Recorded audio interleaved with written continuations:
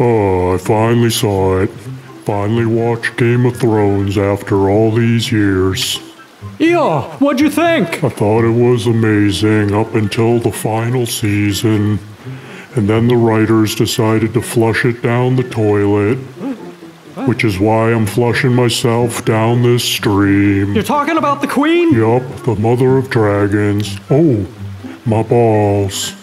And don't get me started on Jon Snow not ending up on the Iron Throne. You don't like Bran Stark? Bran Stark has about as much personality as I do. I'd rather do a naked walk of shame than have him be king.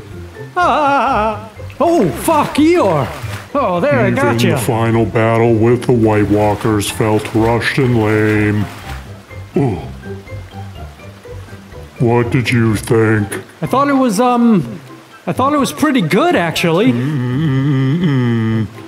And that's why I have to poison you like Joffrey.